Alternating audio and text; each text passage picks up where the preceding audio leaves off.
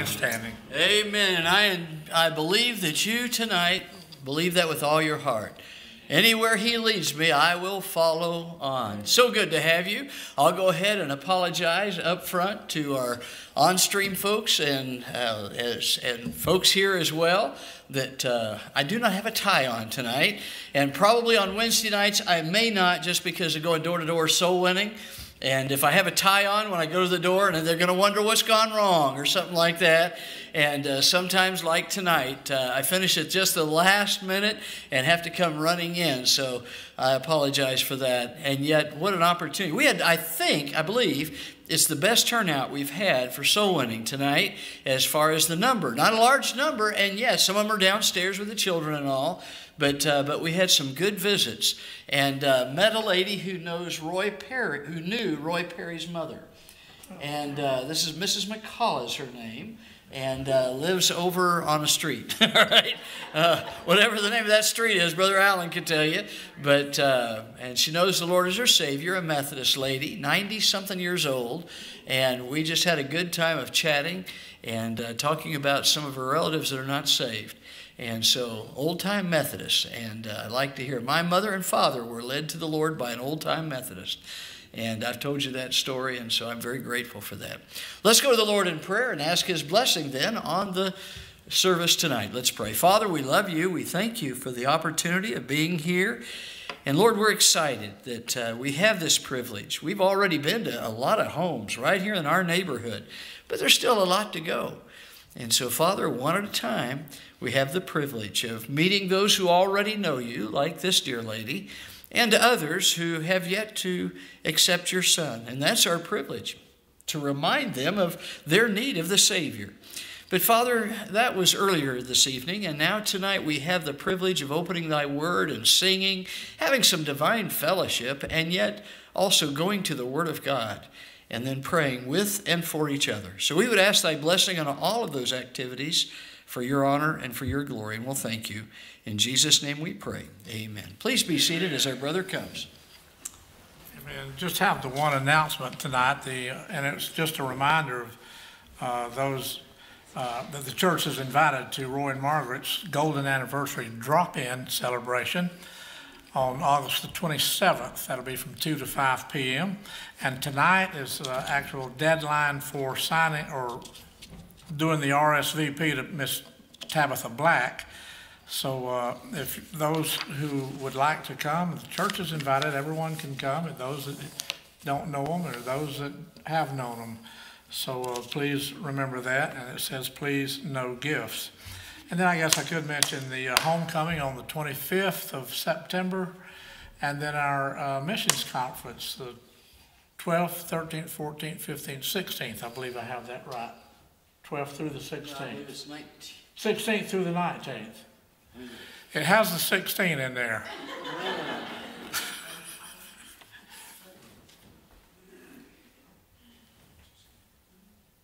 Nineteen through 23. Oh, 19th through the 23rd. Yes. Really? through the 23rd. Okay. I apologize. Doesn't have the 16 in there. That's what I meant to say. It does not have the 16 in there. Maybe the 6 needs to be turned up. Anyway, All right. Well, he is, was accurate the way it started at the very beginning, but shortly after that, um, someone may remember that we had to change it because we couldn't find any missionaries to come. Uh, because of my just coming basically in February, even though I started, but we moved here in February, and I tried and tried and tried and tried. I talked to just all kinds of our missionaries, well, not all kinds, but several of our missionaries. and uh, they are not coming to the States or they're not coming south or whatever it is, uh, south from Maine or south from Alaska or whatever, and uh, that time of year. And so then I began to have one or two that said I could come for one day next week, though. And so then I, I said, well, okay, I'll sign. At least what, maybe what we'll do is have one Sunday every month for missions. I think I even mentioned that in here. But then I started having another one saying, you know, if you could have me come, I could come on that, that next day. And I could come on that. So it, we're full from Sunday through, or for Wednesday through Sunday. And uh, starting with uh, just, it's just going to be great. And we won't go into all the detail. We'll tell you more about it as we're going about it. But uh, just, we're going to have a great missions conference. It'll be different this year. Uh, because they're not going to stay all week long or the Wednesday through Sunday. Uh, most of them will just be staying one night or one evening for, or Sunday uh, for um, uh, you know Wednesday through Sunday for that service, and then going on to wherever else it was they're already already scheduled. But what a joy to have them call, and then we're going to have a couple more come uh, before and after, and so it's just we're going to have a bunch of missionaries coming. Uh, here in the next few weeks and looking forward to it. Well, I'm looking forward to it as well, and I'm glad that you're with us. Glad to have our live stream folks. I think I called you on stream this time, uh, but live stream folks with us, and uh, we're glad to have you here tonight. Tell you what we're going to do. We're going to get right into the Word of God, and uh, we're going to be in Proverbs chapter number 15 tonight. And uh, fellas, if you want to be ready to teach Proverbs 16 next Wednesday night, next Wednesday night, pick a passage of Scripture from Proverbs chapter 16. Now, we have a good number of our men not here tonight. And so, um, and so you can have first pickings, if we can put it that way. And any of our live stream folks, if you want to come and you're a member of Calvary and uh, want to participate in the opening of the Word of God from something you've studied, not at the last minute, but all week long, studied chapter 16 and find some real nuggets of truth.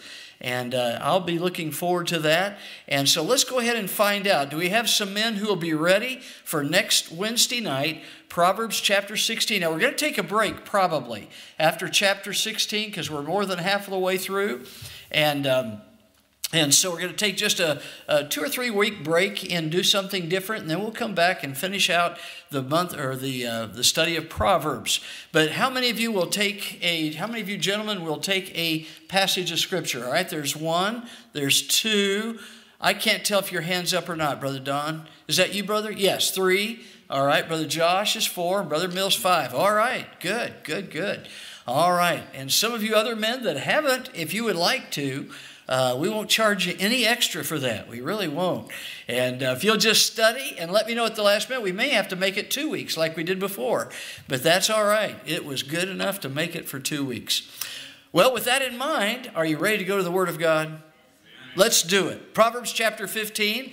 And with your permission, I'm going to bring the podium down here. And so, live stream folks, if you'll hang on, we're going to move the podium. And uh, the, I can get this, Brother Jesse.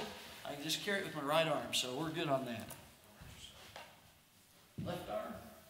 probably want to do it too much. Do you have a surgery schedule? I don't yet. We're, gonna, we're working on that. So, see, I'm not anxious to do it. but it needs to be done. needs to be done. All right. I called Brother Travis, caused Brother Travis to backslide, didn't I? All right. Well, let's just keep coming back there. All right. All right. Brother Travis could probably backslide and would still be in front of me. So we just thank the Lord for him and for his sweet life. She wasn't here Sunday with us, and she's not here tonight. We miss her. Microphone. All right. It's in a pocket here somewhere. All right. Thank you. All right. Proverbs chapter 16, but please tell your wife we're missing her. Proverbs chapter 15 tonight. Yes. All right. Sorry about that. All right. We better have a word of prayer and then get started. All right. Let's pray. Father, we do love you, and it's good to have some fun uh, even though it's fun sometimes because it's just not just saying it incorrectly, and yet it's just it's okay. But Father, as we look to your word, we're so excited about it, Father. It's, I know as I studied this text and looked for something particular, and you gave it to me. It was wonderful, Lord. And I get to share it with these I love and whom you love. And so, Lord, I pray that your blessing will be upon us now. In Jesus' name we pray. Amen. While you're turning your Bibles to chapter 16, and then you go back a chapter, and you'll be right where the rest of us are, all right? While you're doing that, let me remind you of Wednesday night, soul winning. Uh, again, we're going to start Saturday mornings here before long, but uh, yes, it's, it, it takes effort. It does. Um, we had a good meal tonight. Um, what's the name of the place? We went to, I went to Hot Dog World and I bought, I forget how many hot dogs. I bought cheeseburgers. I bought uh, chicken sandwiches. I bought french fries. I bought salad. I bought uh, coleslaw. Uh, I bought New York strip. No, I didn't. Uh, but I bought a, all of those things, and so we just had a feast. We had a good time with hot dogs tonight. Tonight was the mystery night. Never know what you're going to get. And, uh, but it was all good. And uh, first time I've had a cheeseburger from there, and it won't be the last, Lord willing unless I go to heaven and I'm going to see if I can maybe get a to go box or something. and uh, that was really, really good. Put a little chili on it and a little slaw on it and a potato, not a potato, a tomato. And uh, it was just delicious. So, all that to say this don't let anything keep you from. Now, you don't have to come Wednesday night, just carry these little tracts with you. And we have, we just happen to have enough on the way 5,000. And so, uh, and then we have uh, 50 follow up books. And so, uh, and you never know who you're going to meet. Uh, we're live streamed, so I won't go into it. But this lady that I met tonight is very, very, very concerned for one of her loved ones uh, who's extremely bright um, and just very intelligent in, in, a, in a scientific way, and yet rejects everything that has anything to do and accepts everything that has nothing to do with fact as far as the environment, as far as uh, the world and the creation of it and things like that, and putting his faith in something that can't be substantiated. It's just, just a matter of faith. But you and I have the blessed Word of God that substantiates our faith. Amen? Scientifically accurate, historically accurate, mathematically accurate. Just you put it to any test and it's going to be accurate. And so we praise the Lord for that. So, I hope that you'll, if it's not in your schedule, you don't even really need to pray about it because you have a command go ye into all the world and preach the gospel. He talks about going to the highways and hedges, compel them to come in, talking about filling up the bride of Christ for the bridegroom. And so I hope that, I hope that you'll kind of put that into your schedule. We had several tonight that have never been before. had two or three tonight that have never been before. And yet they put that fear aside. I don't know that they were afraid, but I know I would be. And they put it aside to where they'd go and knock on someone's door. And uh, I know I had a delightful visit. I stayed at one house, and uh, we talked a lot about our unsaved loved ones. But um, others had good visits as well. So I hope that you'll make that Wednesday nights at 5 o'clock, and we have a meal together, and then we scoot out and we just go door to door. And uh, we're all the way past the gas station now, and the first two streets past the gas station. We're working our way up. And uh, we'd love for you to be a part of it. All right, enough of that. So here's what we did. Here's what I did. Is as I was reading it, and I read it several times through, so I just kind of get a, a, an overview, like being up in an airplane 500 feet or so, 1,000, 2,000 feet, and you look down and you can see things differently from up there than you do when you're down here. Now, you need to be keep your feet on the ground most of the time and just go verse by verse and fact by fact and so forth. But sometimes it's good to just kind of get up above it and read it over and over and over. Uh, years ago, I tried to, and I, I, haven't followed it through all the way, but I tried to read a passage of Scripture a hundred times before I, before I really started to try to preach it. I've probably uh, at least 10 to 15 times, um, whether it's a, a book like James, I'd read James through the whole book, all the way through, um, in its entirety, or the book of Philippians. They're short books, and read them through over and over and over and over and over and over, so that you really have a lot of it memorized. But, but what you're really trying to do is saturate your mind with those specific principles so that when you do a study, that you're not going to contradict something it says later on, not knowing the context. And so I didn't read this over 50, 100 times. but I just, I did several times. And I looked at it and said, Lord, help me to see what stands out that, would, that you know who's going to be here. You know, Miss Gretchen's going to be here. And Brother Roger, you know uh, who's going to be here, just each one of you.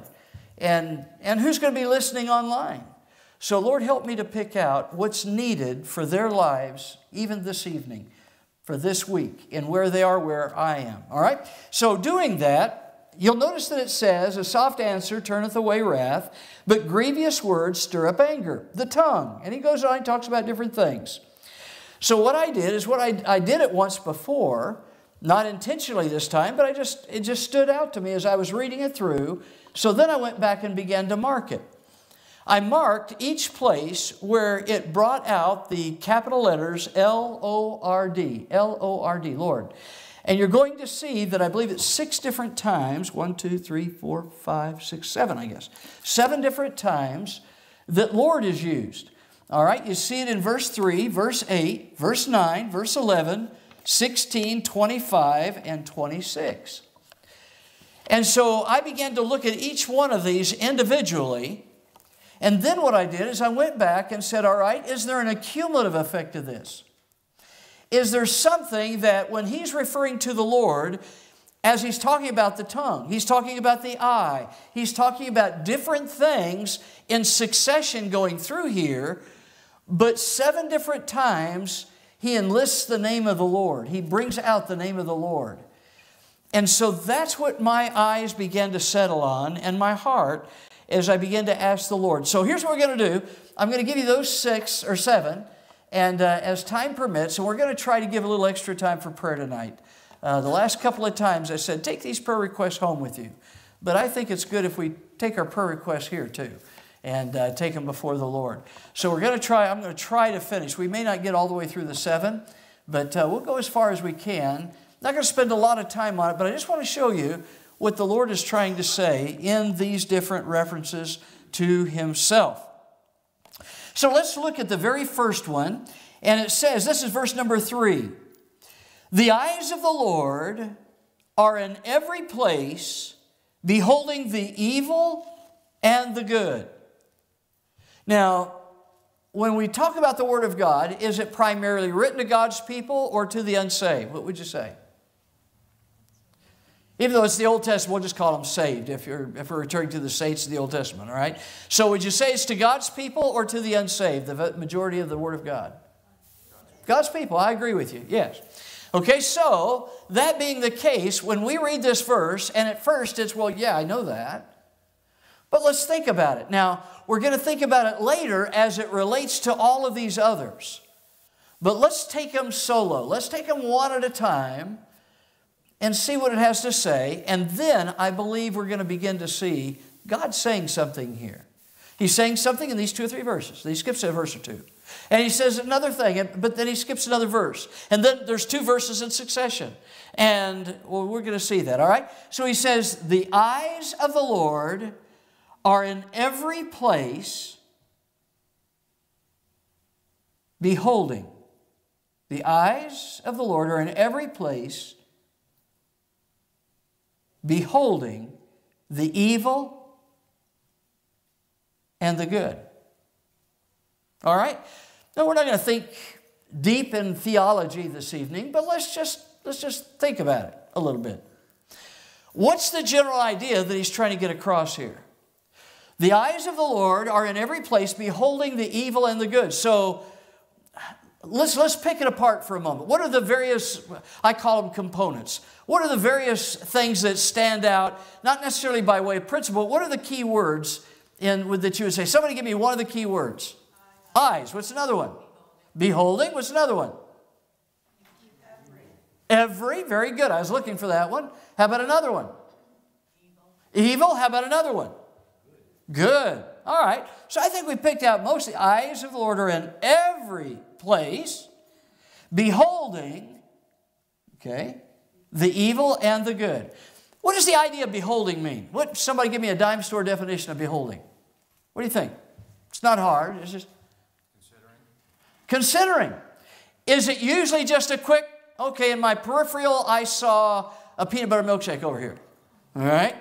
Now, if there's a peanut butter milkshake over there, even if it's my peripheral that saw it, as they say in South Georgia, it ain't the only thing that's going to happen. All right, I'm going to look and I'm going to say, ooh, that's not a small. That's not even a medium. That's a large. And the more I behold it, I notice it's not in a styrofoam cup. And I know that there's an ice cream churn next to it. And I know that there is a peanut cruncher, whatever they are.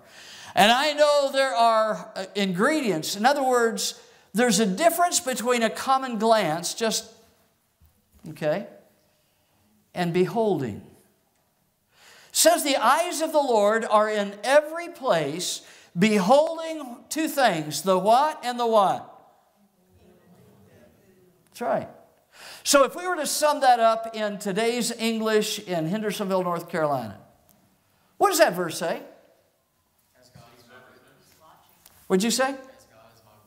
As God is my witness. Very good. Somebody else? Watching. I heard a bass voice back there somewhere. Okay. Our sister, Miss Erlita, I, I, he was talking and she, her, I saw her lips moving and Brother Don was talking. Uh, Whoa, she's got a bad cold there. All right. Mr. Yes, he is right. Was it the same as you? Yes. Oh, they had a duet. All right. Good. All right. And I, now you got tickled with that and forgot what you said. What was it, Miss Arlita? He sees everything. Okay. So when you put all these pieces together as my witness, and you put all these things together, what's it really saying? He's everywhere. Okay? What does that mean to you? I'm never alone.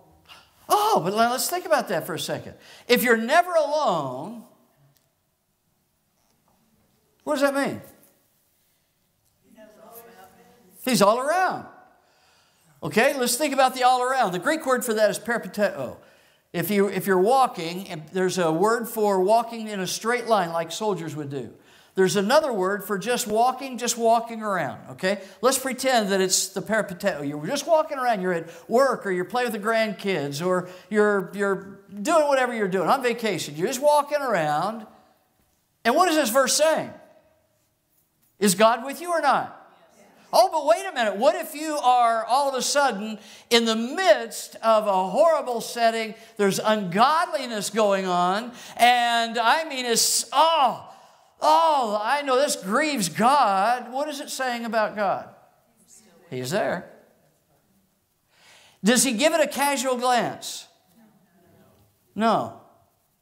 What kind of a, an observation does God make of your setting? He's beholding it. That's right. He is beholding your setting, no matter what that setting is.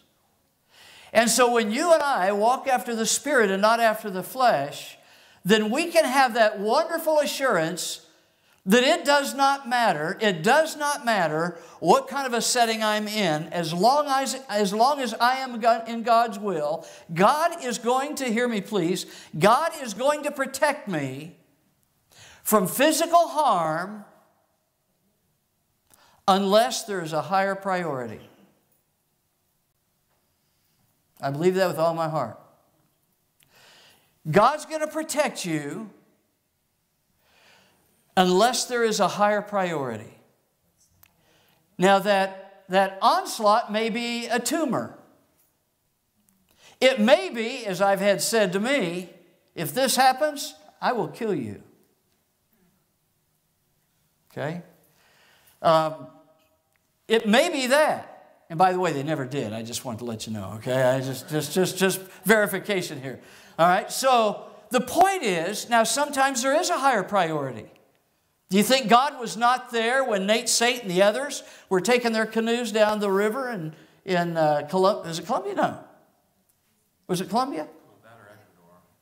Ecuador. It was Ecuador. You're right. It was in Ecuador. Do you think God wasn't there? God didn't see those Indians with their bows and ready to let them have it. Or was God there? Was there a higher priority? Yes. Was there a higher priority when God called Becky's husband home? Or my wife home? There's a higher priority. May not know all of it until we get to eternity. I, I, I think I know as far as Becky, I mean, as far as my first wife, because God has used her in a marvelous way since she's been in heaven. I've been able to use her testimony hundreds and hundreds of times as I've traveled with people through difficult times, and I've, I've tutored them in the grace that I learned by watching my wife as she went through all that. Here's my point, and I've, I've probably gone longer than I should have on this. We're not going to get through. But the point is, when we stop and we look at the eyes of the Lord are in every place, beholding the evil and the good. Yes, God is omnip- omnipresent as well as omnipotent and omniscient. He's omnipresent. Okay, I got it. I got it. But what does that mean to Helen's life? What does that mean to uh, Brother uh, uh, Mills's life? What does that mean to Sister Sylvia's life? It means if I'm doing something in the closet and no one knows about it, God does. Or if I'm doing something and I don't really want anybody to know about it, but it was a very good thing, God knows about it. I don't have to go out, everybody look at Randy Bray. No, aren't you lucky I'm here? No, no, no. Whether therefore you eat or drink or whatsoever you do, do all to what? That's right. So you're exactly right, friend. So the point is that God is everywhere, and He is beholding the good and the evil. And we're going to see that all the way through this chapter. We're not going to look at all the chapter, but we're going to look at six more things very quickly. All right, so that's number one. Number two is found in verse number eight. Notice what it says the sacrifice, and by the way, most of these, not all, most of these are by way of contrast. It's a teaching by way of contrast. It's like, okay, there's a difference between an avocado and, uh, uh, let's say, peanut butter pie. Okay? There is, that's, that would be definitely the epitome of contrast, all right? Uh, peanut butter pie, yes, all right? Uh, avocado, oh my, that's not right. We need to pray for revival here, all right? But here's the point, here's the point, is that most of these verses in this are saying there's this, but this is what God does. Or God does this and there's the other. So you see that in verse 8. The sacrifice of the wicked. There you go. Now, wait a minute. Sacrifice. What does sacrifice mean? Hurry, hurry, hurry. What does it mean? It, it's an offering. Okay? What's, what is understood in the, in the very term sacrifice? Is what? Cost. Cost. I'm giving something up. I'm sacrificing. Okay? So, when Abraham offered Isaac on the altar, was that a sacrifice? Yes or no? Was it a righteous thing? Yes. But do the wicked sacrifice? Oh, sure they do. Sure they do. Okay? So he says the, wick, the sacrifice of the wicked is an abomination. He uses that word, I think, uh, three other, two other times, but we'll look at that another day. The sacrifice of the wicked is an abomination to the Lord, but notice this the prayer of the righteous, or upright, which means righteous, but the prayer of the upright would you look at that last little phrase? Why don't we say it together? Is his what? Stop and think about that. Sister Sylvia, do you want to delight the Lord? You can do that. Yeah. Yeah. Each one of us here, Brother Steve, you can delight the Lord. Brother Roger, you can delight the Lord. Now, he is saying, he's contrasting what's going on. He says, the sacrifice of the wicked is an abomination. Now, the sacrifice of Isaac on the altar was part of what gave uh, God the, the, uh, the conclusion. I hate to put it that way, it's not the right way to put it. But God assessed Abraham's faith as being righteous because he was willing to trust God, even though it meant taking his son's life. That sacrifice was deemed righteous. But he's not even talking here about the sacrifice of the missionary who leaves the borders of America and maybe a great, a great place like America as uh, the heir to the Borden dynasty did, as God called him to preach, and he legally his, his parents, everybody thought he was insane. He legally made it to where he could not receive any of the Borden fortune as he surrendered to go to the field and he died very young. But he surrendered. He's not even talking about that surrender and sacrifice here. Notice what he says. The sacrifice of the wicked is an abomination to the Lord. But the what? Oh, wow. Sacrifice is usually an overt thing. You do it outwardly.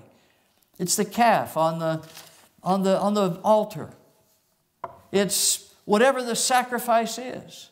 It's usually, not all the time, sometimes it can be, it can be secret, but a lot of times it's, it's out there where you see it, others probably see it. But prayer oftentimes is very different from that. You're in your time with the Lord. It's not necessarily a secret. Your spouse may know it, your parents may know it, your friend may know it. That you get up at whatever time or at the evening at whatever time, and that's when you're with the Lord.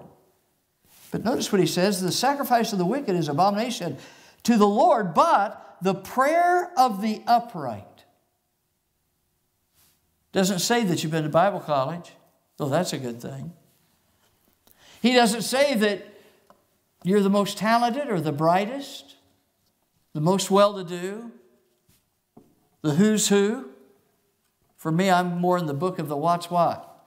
All right? Uh, they have to figure me out yet. All right? But that it doesn't mean that. It says this, but the prayer of the upright is what? His delight. It's not just a delight. It's his delight.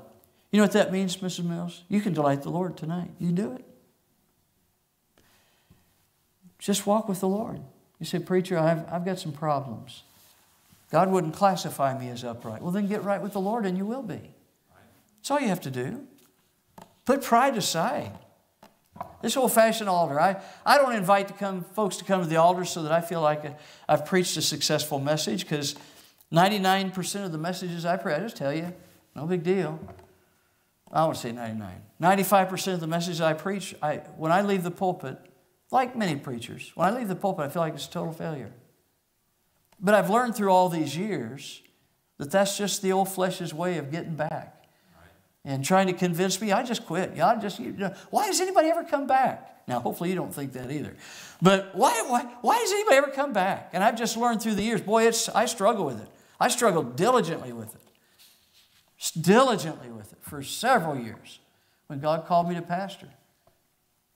I just felt inept. I felt just whatever until it finally got through my thick head as I heard preacher after preacher talk about the same thing. And just say, wait a minute, this is how the devil works. He says, the prayer of the upright is his delight.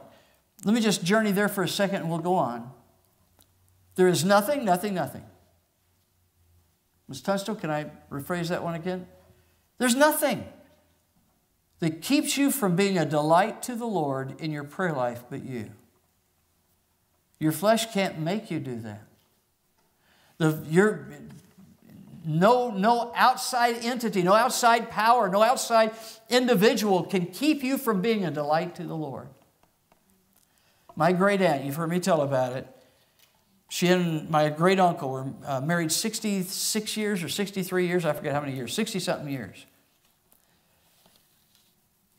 shortly after, I mean, she got saved. He, I mean, shortly after they got married, he got, she got saved. He forbade her for going to church for all those years. She passed away. Shortly after she passed away, I don't know how long, but shortly after she passed away, he got saved and wonderfully saved. I had never met him. I did meet him at my grandmother's funeral. He knew I was a preacher. I've probably told this. I, I, I haven't, okay? Uh, thank you for doing that, brother. So it helps. Yes, yes. No, no. All right. Uh, but my grandmother's funeral uh, up in Illinois, and I didn't, I didn't know any, hardly any, if any, of my relatives up there. And there's some reasons for that. I won't go into it tonight. But um, my great uncle, here's a room full of my relatives whom I'd met for the first time, many of them for the first time. And just the room was packed. Big family. My, bro- my dad had, I think, eight brothers and several sisters. Big family. And so my uncle, and I don't even know his name, my uncle called out and he says, Randy. Th- what did I do? And uh, he says, I got a question for you. of course, when you got a guy that's 90 something years old or whatever, 98, whatever he was, 93, I think. Well, he was 92 when he got saved, so I don't know how, long, how old he was, but somewhere in there. He said, I got a question for you, Randy. And I said, Yes, sir. He said, Did I wait too long to get saved? And what he was doing was just kind of tossing me a softball to give the gospel to the rest of my dad's relatives, my relatives too. And the Lord gave me the answer. I said, Well, uncle, in one way, yes. I wish you and my great aunt could have lived your entire lifetime. And he, by record, treated her very nicely. He just wouldn't let her go to church, other than that. I said, I wish you could have known the Lord early in your marriage and just enjoyed that. I said, So, yes, I wish you could have, but at the same time, Uncle, no, you didn't wait too late. Did you accept the Lord as your Savior? I did. No, you didn't wait too late because you'll see her again. He gave me the opportunity just by testimony to give the gospel out. Now, notice what he says the sacrifice of the wicked is an abomination. Yes, it is, every single time. Every time. But the prayer of the upright, it's for you, Brother Allen, for each one of you, for me too. All of our friends listening by way of online. Make sure you have that time with the Lord and walking with the Lord, and you'll delight Him. Okay? We've got to hurry.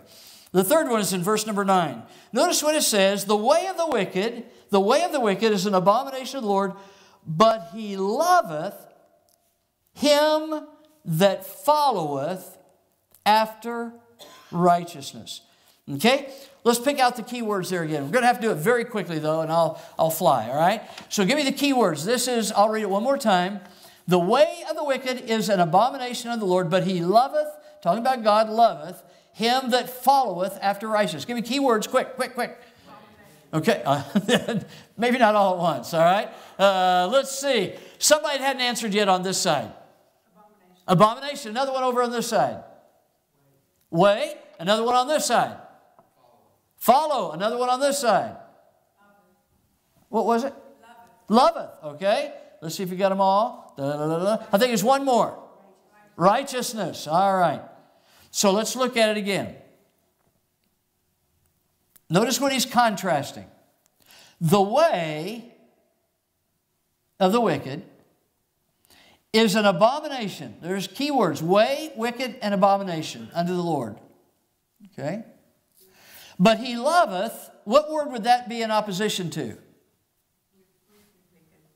Okay? When it says God loveth, what, what word? Let me pick a different word. Abomination. Okay? All right, so let's go on. The way of the wicked is abomination of the Lord, but he loveth him that followeth. Okay, what word would that be in contradiction to? Way is exactly right. Somebody over here is way. Okay, after righteousness, and righteousness would be in contrast to what? Wicked. Very good. Very good. Here's the principle the Lord is just, again, and, and I probably make it too simple it's just the way my mind works. But when I read this and looked at it and asked the Lord to help me and to help you, here's what the Lord gave me, I think. Righteousness always creates pathways. God loves, and the Christian can follow. Righteousness always creates pathways. God loves, and the Christian can follow. Well, wait a minute, preacher. What about the what about the the uh, all the trials in Egypt? What's the other word for it? Not trials. What's the other word? Plagues. The what? Plagues. Yes. What about all the plagues in Egypt? Do you remember what God said? Why He sent them? He sent one to lead children out of Israel, right? Israel out of Egypt, right? Children of Israel out of Egypt. What's the other reason God did that? The Bible says so that all what? So that all Egypt would know that there is a what? In heaven. Okay? God's pathways. Now, sometimes it swallows up Korah's sons into boom, they're gone. Okay? But that was a pathway for everyone watching. Better be careful what we say. Better be careful what we do. Okay? So, Righteous, righteousness always creates pathways for them. Okay, let's go to verse number 11. We have to hurry here. Verse number 11. Hell and destruction, there's the key components, before the Lord, are before the Lord. How much more? Think about this now. Okay? Hell and destruction are before the Lord. How much more? Hell and destruction. What does it mean, hell and destruction before the Lord? What does that mean? Quick, quick, somebody help me. Hell and destruction are before the Lord.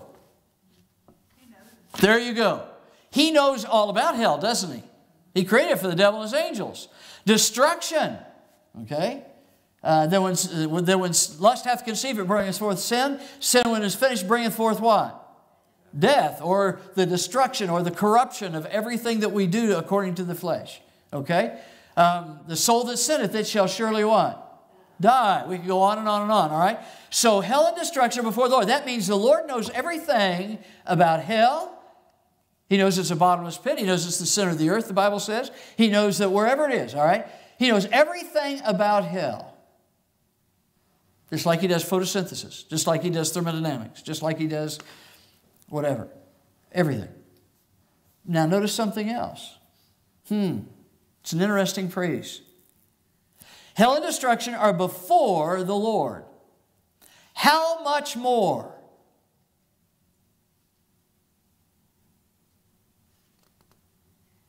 How much more then, not then, then, I'm sorry for the pause there. My, my eyes looked at it like it was an A, and I thought, that's not right. Okay, it's then, not then. Am I correct on that? Yes. Okay. The hell and destruction are before the Lord. How much more then the hearts of the children of men?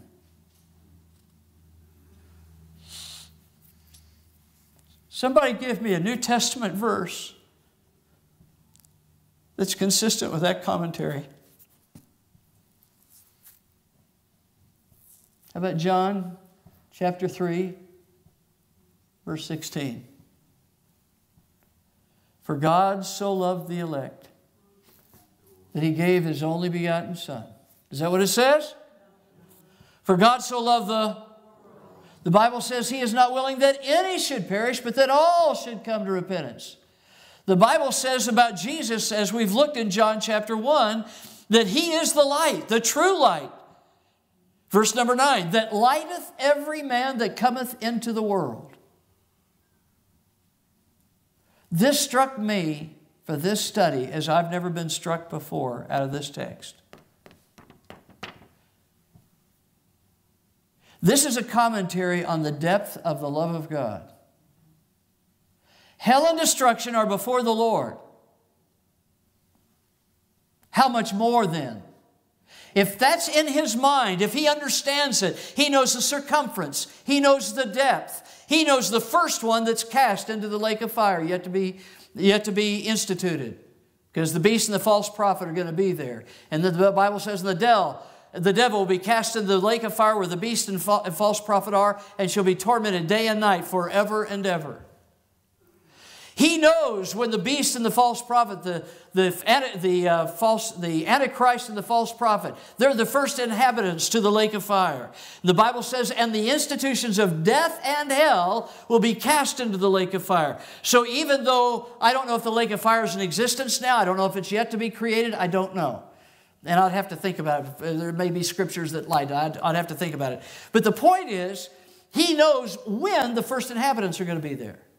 He knows when the, uh, the, uh, uh, the Antichrist and the false prophet, and he knows when Satan's going to be cast there. He knows when the first inhabitant's going to be there of the human race following the great white throne judgment, it says, and, and the books will be opened, the book of life and the book of works. Actually, I got that in reverse. The book of works and the book of life will be opened.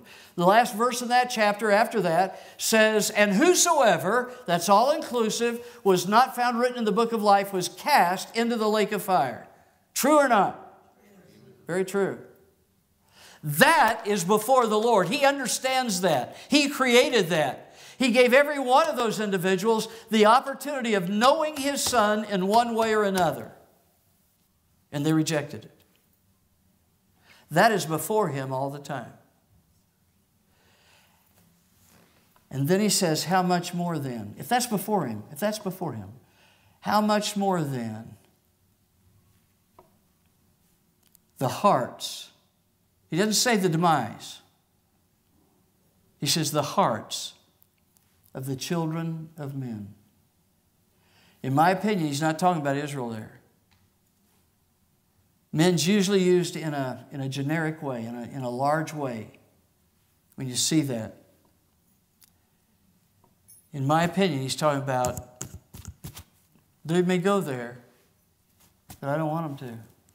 Oh, I wish we had more time to look into it. All right, so let's. Uh,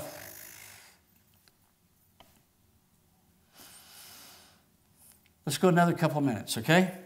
Uh, still eight minutes till, so I think that's what, maybe 10, 12 minutes till, I can't tell. Maybe it's 20 till. Wishful thinking, preacher. All right, let's go on. Notice verse, uh, let's see, that's hell and destruction. Verse 16 then. Better is little with the fear of the Lord than great treasure and trouble. Not spend a lot of time on that. Better is little with the fear of the Lord than great treasure and trouble. So, what is the basic understanding? Somebody give me a commentary on that, real fast. Better is little. Does that mean that you're not righteous if you have a great deal of things? No, no. He's just giving a commentary to say what? Better is little with, uh, with, fear, with the fear of the Lord than great treasure and trouble. What's he really talking about? Blessings of the Lord. Addeth no sorrow passage that's used a lot of times in weddings. Okay? Um, somebody else help me out, okay? And he's exactly right. Better is little with the fear of the Lord than great treasure and trouble. What often happens with great treasure? Pride, need, or greed. What else? I'm sorry? Rust and decay. What else? Lust. Self reliance. yeah. What else? Do people ever get jealous when you have a lot? Do relatives ever get jealous when you have a lot? Do children ever get jealous when you have a lot? Yeah. Do they do bad things sometimes? Very bad things sometimes.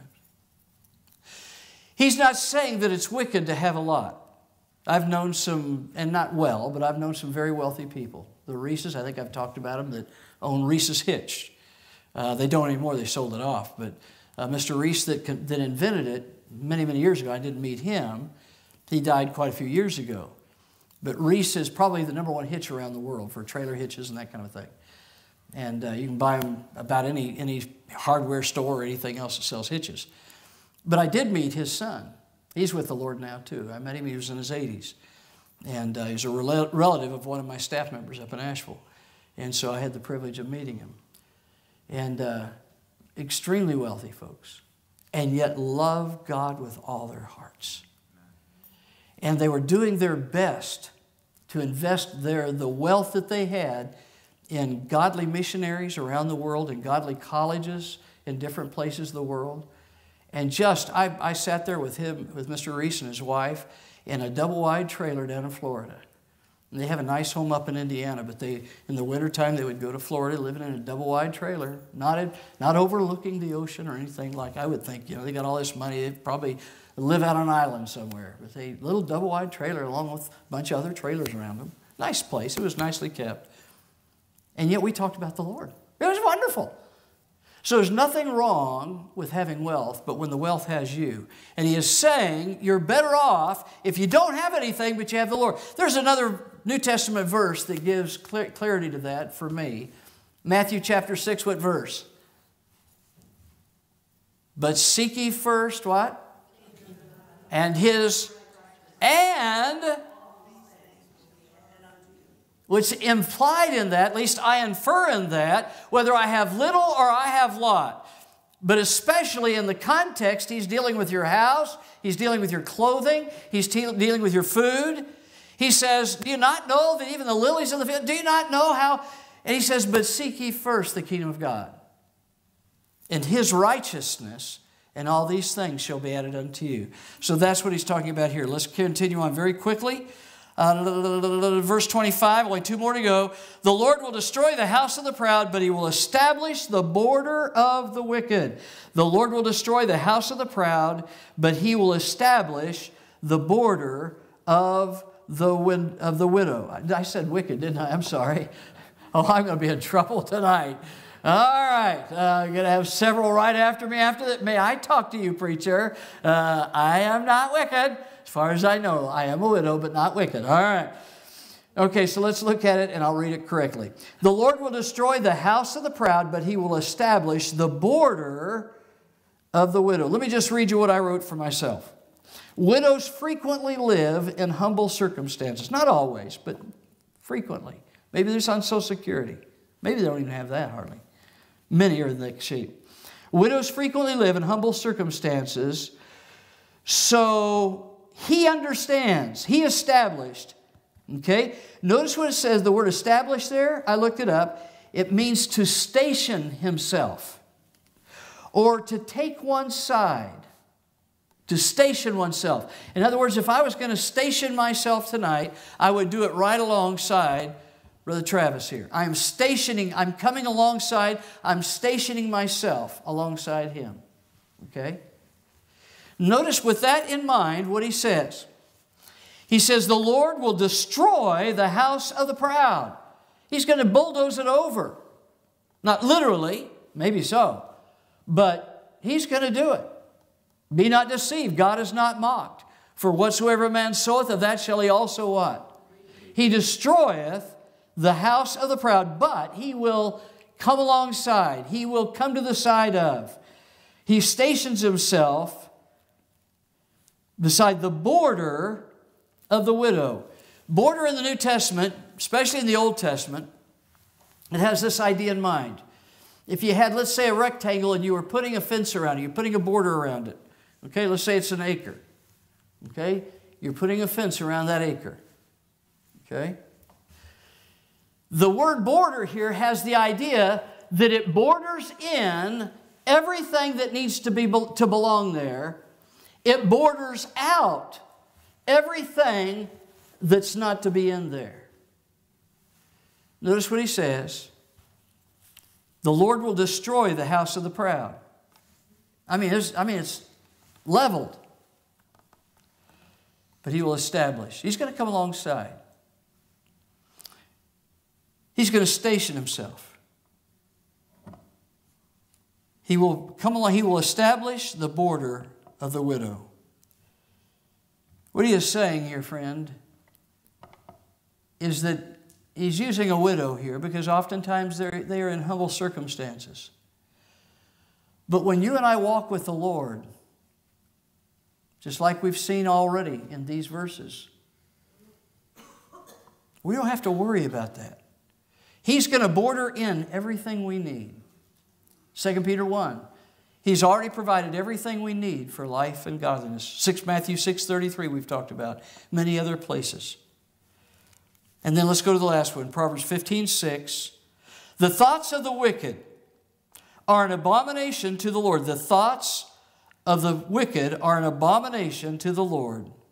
But notice the last. But the words of the pure are pleasant words. The thoughts of the wicked are an abomination to the Lord. Now, if we're going to be consistent, it's a contrast, okay? So it's talking about how does this, how does this appear to the Lord? He says, the thoughts of the wicked, their imaginations, their, their uh, calculations, what they're planning on doing. I'm going to look at that uh, movie, even though I know it's got stuff in it. All right, it's wicked. All right, I'm going to steal that. That's wicked. Their thoughts, before it's ever acted upon, I'm going to be bitter. And whatever it is, he says, the thoughts of the wicked, and notice this is the third time in this chapter he uses an abomination, are an abomination to the Lord. But notice what he says in contrast to that. The words of the pure are pleasant words. And in my opinion, he's talking about to the Lord. The Lord loves to hear your words and mine. When those pure words, they're pure words, but they come out of the reservoir of a pure heart. The Bible speaks elsewhere about everything that comes out comes out of a pure heart. In other words, you have a ladle, let's say it's a ladle of words, and the reservoir is purity. It's godly purity. There's nothing that defiles in that bella, in that, in that uh, vase or in that, uh, that kettle or whatever it is. Everything in there is pure. And so for the godly, their thoughts are to, are to come out of that. And if there's anything, any foreign thing that's going to try to enter into it that has a defilement, oh, it's rejected before it gets into the ladle. But he says here, the thoughts of the wicked are an abomination to the Lord. Ah. But the words, the pure words, the words of the pure are pleasant. And in my opinion, consistent with the text, they're pleasant to the Lord. When you go to someone on Sunday and you're not trying to make them think better of you, you just know that's my sister in Christ, that's my brother in Christ. And you have pure words out of a pure heart. It's not a, oh, they're going to think better of me. They're going to invite me out to eat. They're going to give me a, a job. They're going to whatever. No, they're pure words. It says here, in my opinion, it delights the Lord. Now, with that in mind, let me go back over these seven. And let's preface all of these. I'm going to give a little phrase for each one. And this is what tickled my heart, if I could put it that way. Because really, when you look at all the contrast, the bad side of the contrast, it's oh, ah, ah, all the way through. But when you look at the right side of the contrast, that has God's name attached to it. Ah, it brings about rejoicing. So here's the seven phrases I came up with. Well, I asked the Lord to help me with. All right? Rejoice. Verse number, chapter 15, verse 3. Rejoice. The eyes of the Lord are in every place, beholding the evil and the good. Rejoice because the Lord knows your good in the company of those that are otherwise. You can rejoice in that. You can be smack dab in the middle, smack dab's in the Hebrew, I think. You can be smack dab in the middle, not by way of getting yourself into temptation, but in uh, things going around you. Even as Miss McCullough said today, we're living in a wicked world, aren't we, preacher? And I said, Yes, ma'am, we are. But you and I, smack dab in the middle of a wicked world, can rejoice. Why? Because we know that God is everywhere, beholding the evil and the good, and He knows, He knows what's going on in my life. All right? Number two, 15.8. The sacrifice of the wicked is abomination to the Lord, but the prayer of the upright is his delight. How can we rejoice? We rejoice because the Lord hears. Number one, we rejoice because the Lord knows. Number two, we rejoice because the Lord hears. What does it say? But the, but the prayer of the upright is his delight. Isn't that neat? Number three, the Lord loves. Remember, hell and destruction before the Lord. How much more then the hearts, how much more then the, then the hearts of the children of men. So, number one, the Lord knows. Number two, the Lord hears. Number three, the Lord loves. We have every reason to rejoice tonight, don't we? I don't know if this is making sense. I thoroughly enjoyed it. I hope it'll be a blessing to you. 15, 16. Better is little with the fear of the Lord than great treasure and trouble therewith. Matthew 6, 33. How can we rejoice? Not only that he, uh, that he knows and he hears and he loves. Better is little with the fear of the Lord than great treasure. The Lord provides. Doesn't he? It may be thoughts. I have to pray regularly, regularly, regularly, regularly for wisdom on what to preach, how to preach, what counsel to give. The Lord provides. You may have to provide, ask the Lord for food. You may have to ask the Lord for clothing. You may have to ask the Lord for a job. You may ask the Lord for protection. You can rejoice. Go ahead and rejoice. Faith is the substance of things hoped for, is it not? Faith is not really a substance. Faith is an intangible. Substance is a tangible. But for the child of God, he can go ahead and act as though God is already at work bringing the tangible to the intangible so that the things which are seen are not, and the things which are not are seen. The God knows what they are before He even makes it. And it's as good as real already. He provides. And then the last one, uh, last two. The Lord will destroy the house of the good, but He will establish the border of the widow, of the, of the widow. I'll get it out. And that is the Lord establishes. He does. He borders you in. You don't have to be afraid. You don't have to. You can say, okay, Lord, here we go. You want me to go soul winning? I can go soul winning. You want me to be a blessing to people across the aisle here that I don't know and they're going to think I'm weird because I'm going up to them? That's all right. I'm bordered in. If I do it righteously, God will use that. And then finally, the thoughts of the wicked are abomination of the Lord, but the words of the pure are pleasant word. How, why can we rejoice? Yes, because the Lord knows, because the Lord hears, because He loves, He cares, He establishes, and the Lord delights. Imagine that. The God, the Lord who spoke the stars into existence, the, the God who just allowed our little camera to go out a little ways from here. And boy, we've seen the universe as we've never seen it. All right? Because we're little spots on this planet. And that little camera went way out into the universe, out of the galaxy or whatever, and, and that's nothing. But He delights in your prayers and in mine. Can you imagine that? What a God of love. What a power there is in prayer. Amen? There is power in prayer. Well, with that in mind, let's do some of that then. All right, we still have about 12 minutes. And so let's go ahead and take our prayer requests at this time. And um, we'll do that. All right? So, any prayer requests at this time? Yes, ma'am.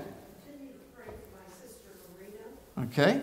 Tomorrow we have a meeting with three different doctors, projecting what they have determined and what direction we take.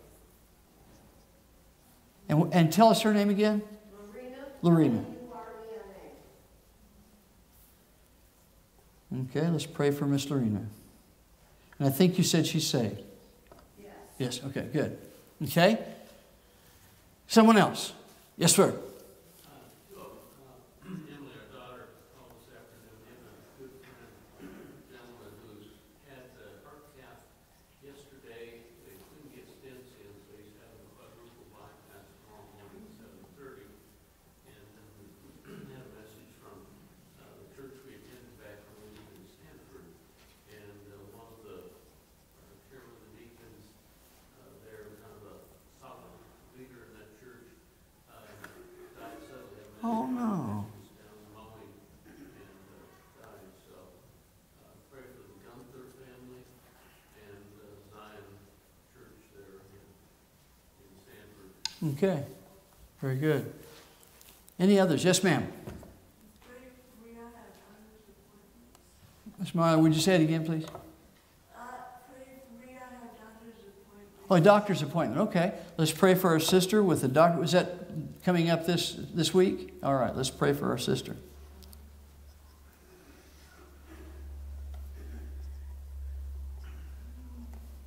Okay. That'll be a delight for us. Okay, someone else. Any others? Any others? Miss Sylvia.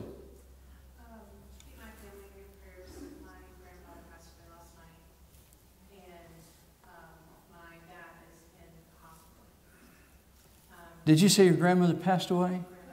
grandfather, Grandfather. I'm sorry. um, my dad, most of you know, he's had a heart transplant, and he just tested positive for COVID, and because of the COVID, he's now in um, heart failure. Oh, no. This is your dad? Oh. I'm sorry. I sure appreciated Miss Sylvia. She and the children went out door to door winning. And those children, I, I, they were on the opposite side of the street. And Miss Sylvia doesn't know this, so don't, Miss Sylvia, don't cry, okay? Her, uh, because it's going to be a shock. Her children have a lot of energy. All right? They stood there. I didn't, I wasn't there the whole time. But when I saw them, they were there at the front door. They were there very polite, and we're being very polite.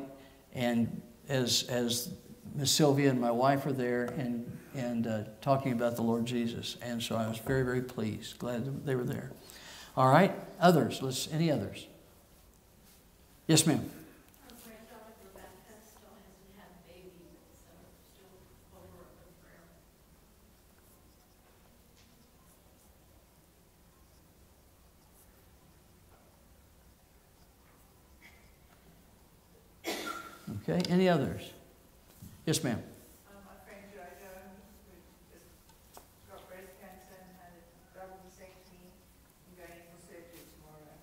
Okay. Let's pray for this friend of Michelle's. Surgery tomorrow. She already had a double mastectomy, but having to go back for a further procedure tomorrow. Okay. Do you know if she's saved or not, Miss Michelle? No, I say, oh my. Okay.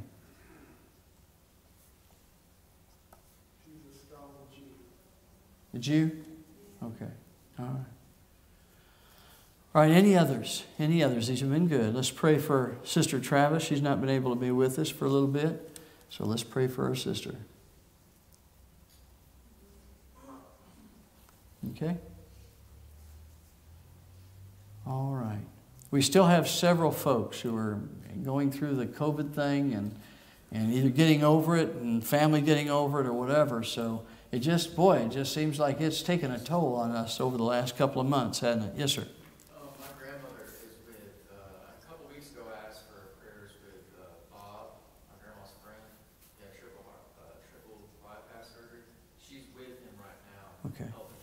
Oh,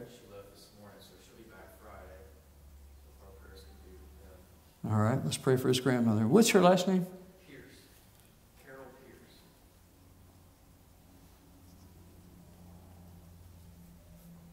Pierce. Okay. All right. Well, let's go to the Lord in prayer. And uh, yes, ma'am. I'm sorry. Okay.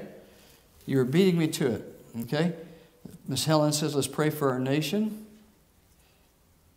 Okay, and I was just about to say, let's pray for a couple of things.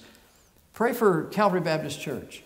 Um, how many of you believe the Lord is wanting to use this ministry? Do you? Amen.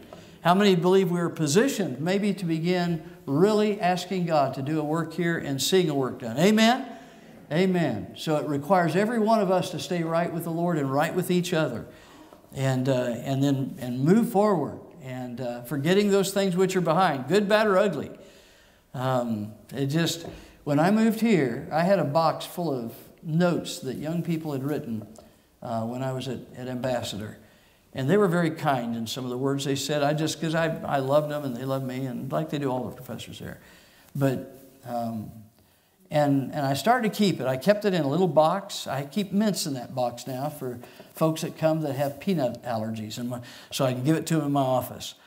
But I determined, you know what? Uh, God's, God's led me to this place, and, and I had some, I had four wonderful years there. God was so good, and never planned on leaving. But that's not where God has me now. God has me here. I want all my attention and all my affection, everything I have to offer, what little bit that is, but whatever I have to offer, good, bad, or ugly, it's, I want it to be here. And so I'm going to set those things behind. Maybe some things are not so good to set behind sometimes too and say, okay, that was yesterday, that was last month, that was last decade.